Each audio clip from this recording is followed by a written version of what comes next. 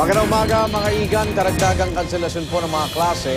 Wala na rin pong pasok sa lahat ng antas ng pampubliko at pribadong paaralan sa Malolos, Bulacan at Angono, Rizal.